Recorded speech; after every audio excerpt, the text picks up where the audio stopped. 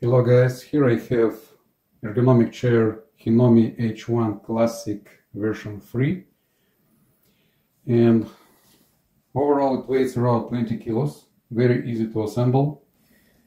So let's look from the top to the bottom. Here there is optional piece headrest and you can adjust it in three positions, in three ways. So you can adjust the height like that. So if you click, after you have these screws, you can release them a bit and you can do this thing, act this way, and at the end you can twist the headrest in that directions. So moving on the lumbar support.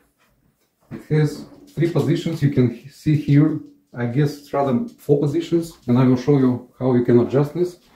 At the very top you have reset. So once you reach the top, you can put it in the lowest position.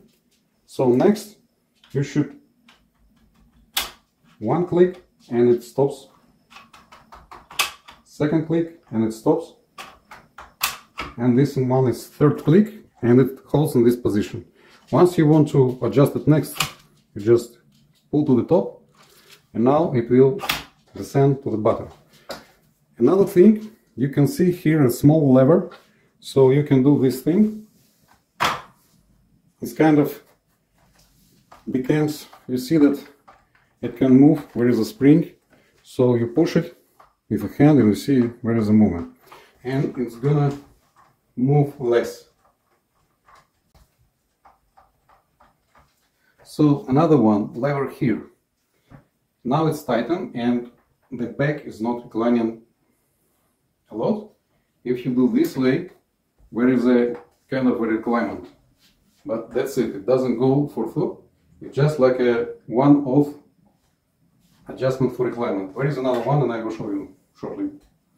So talking about this lever, I will put it this position to adjust the armrests. So armrests, you can lift them this way up or like that. There is no intermediate position, so just, just down or up. And now you can see the button. So if you push the button, you can spin the armrest a bit.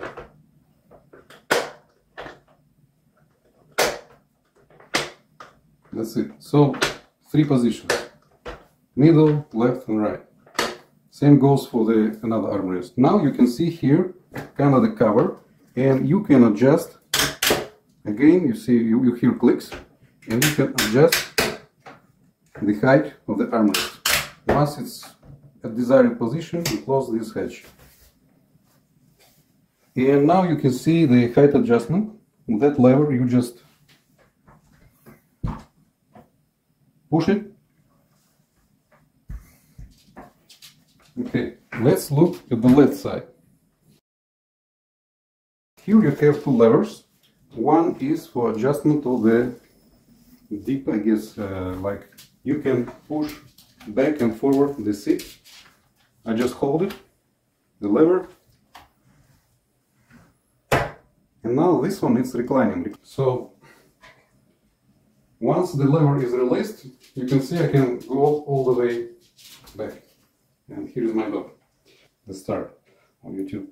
So and this lever you can lock in any position. So let's say if I go back and I lock it in this position, you see it stays reclined.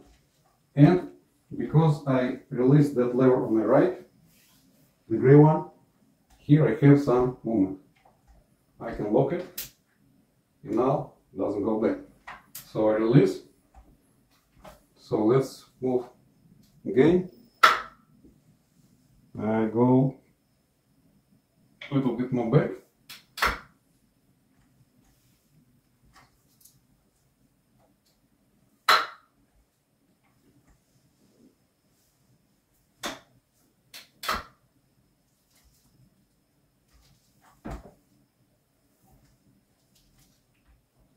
and we can reset it. Just need to push it a bit more no? Okay let's try it again Yes. Exactly. So now we're gonna spin it around so you can see the chair from all sides. Talking about impressions about this chair. My wife loved it from the first try set and liked it right away.